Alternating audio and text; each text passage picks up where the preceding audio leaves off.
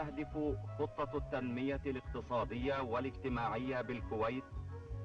الحفاظ على مستوى المعيشة والسعي إلى زيادة معدلات دخل الفرد مع ضمان حسن توزيعه وذلك بالعمل على تنويع مصادر الدخل القومي خفضا من الاعتماد على الموارد النفطية.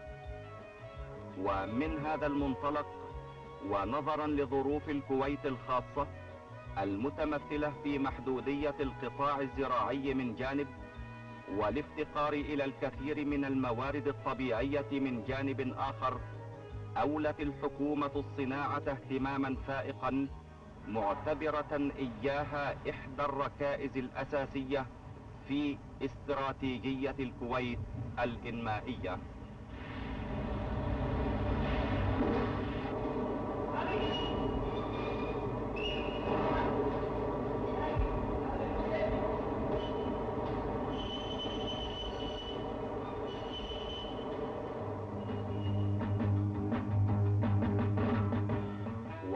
تحل الستينات تيمم الكويت وجهها شطر إجراءات عديدة وفعالة تدفع بها عجلة نمائها الصناعي وتقهر بها الصعاب التي تعترض مسيرته. وتبادر الكويت فتنشئ قطاعا صناعيا منظما وتكثر الدولة وتعدد من الدروب المؤدية بها إلى غايتها المنشودة.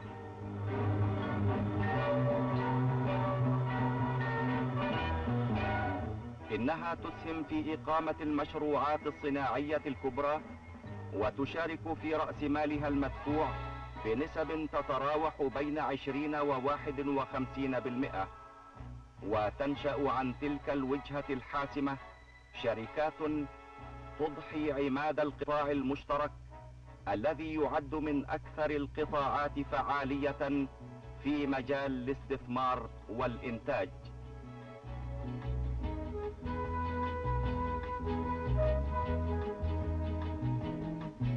ولم يتوقف الجهد عند هذا الحد. إن الحكومة تقدم على توفير الهياكل التنظيمية والاستشارية عونا منها في توجيه ورعاية القطاع الصناعي في البلاد. وتؤمن المرافق الأساسية اللازمة لإنمائه. الطرق والاتصالات ومصادر الطاقة والمياه وغيرها من الخدمات الضرورية.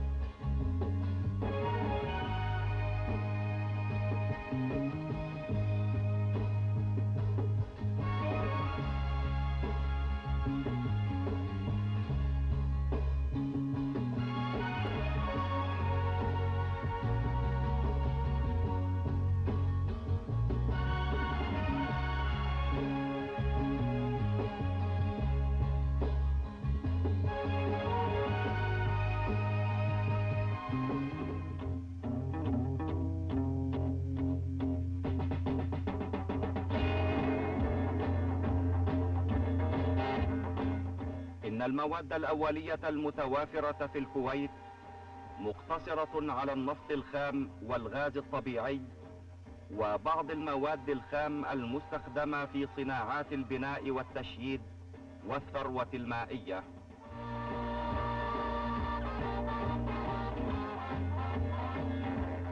والمعروف أن الكويت من البلاد الرئيسية المنتجة للنفط في العالم. إذ يقدر احتياطيها من النفط الخام بحوالي 73 ألف مليون برميل أي ما نسبته 10% من الاحتياطي العالمي. أما الغاز الطبيعي فتقول التقديرات بأن احتياطي الكويت منه يبلغ 31 مليون قدم مكعب. وتلي ذلك المواد الخام اللازمة لصناعة البناء والتشييد حيث تقول المؤشرات بأن المتوافر منها كاف للتوسع الكبير في الصناعات القائمة.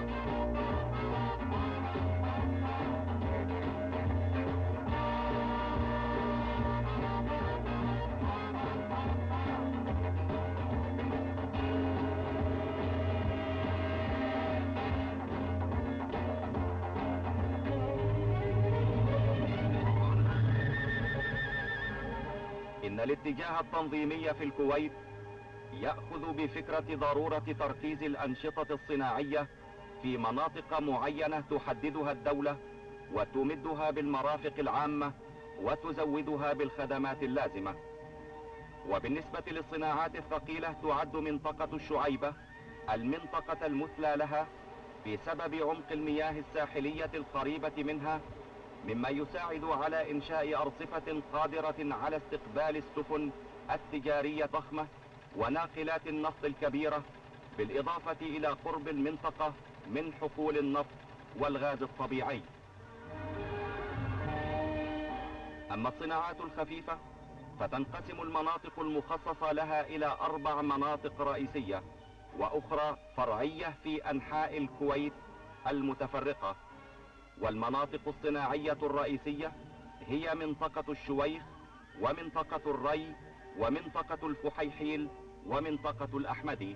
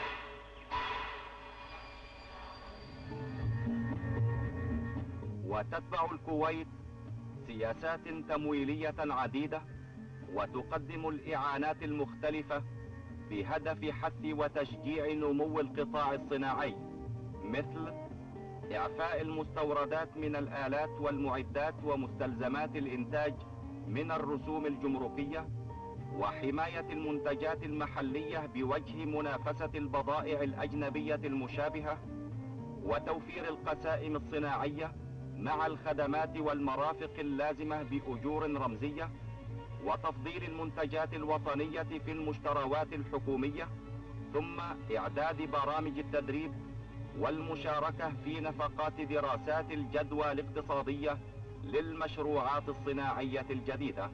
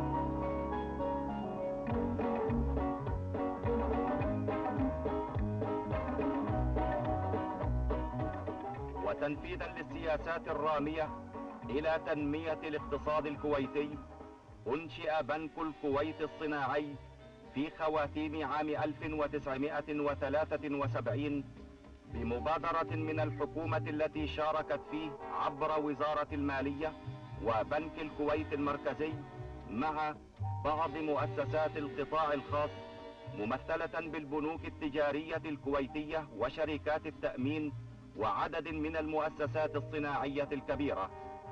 إن المادة الخامسة من النظام الأساسي لبنك الكويت الصناعي تقول إن الأغراض التي أسست من أجلها الشركة هي الإسهام في إنماء الاقتصاد الكويتي وتنويع هيكله الإنتاجي عن طريق تشجيع إنشاء الصناعات الجديدة وتدعيم الصناعات القائمة.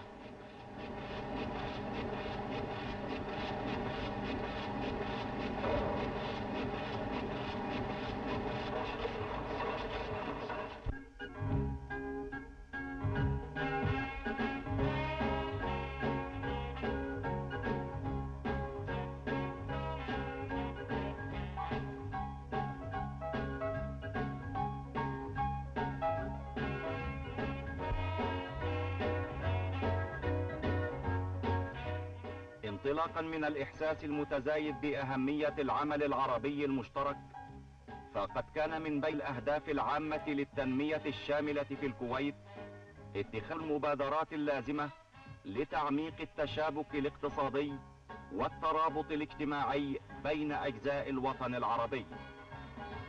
وتحقيقا لذلك فقد سعى الكويت فضلا عن انضمامها إلى اتفاقية مجلس الوحدة الاقتصادية العربية إلى التنسيق والتعاون مع الدول الخليجية والدول العربية.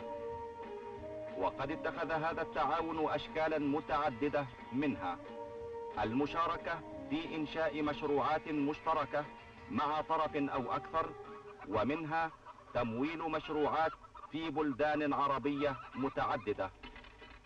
وكان يتم هذا التمويل إما عن طريق الحكومة ممثلة أساسا في الصندوق الكويتي للتنمية أو عن طريق شركات القطاع المشترك وأهمها الشركة الكويتية للاستثمار والشركة الكويتية للتجارة والمقاولات والاستثمارات الخارجية أو عن طريق المساهمة في الصندوق العربي للإنماء الاقتصادي والاجتماعي.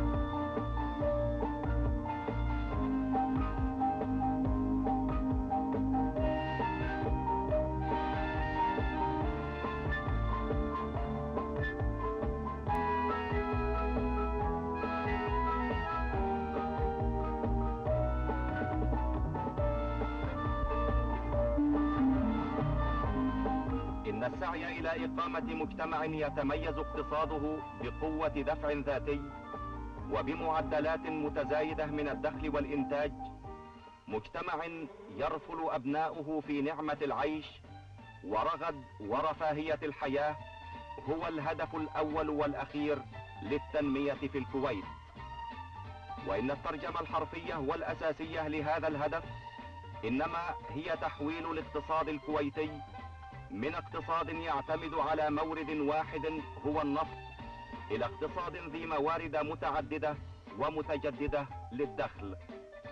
ونظرا لمحدودية القطاعات الإنتاجية عدا النفط وضآلة الدور المنتظر أن تسهم به في تحقيق هدف التنمية فإن العبء الأساسي في تحقيق هذا الهدف هو عبء لا بد وأن يتحمله القطاع الصناعي. باعتباره القطاع الإنتاجي الرئيسي القابل للإنماء والتطوير.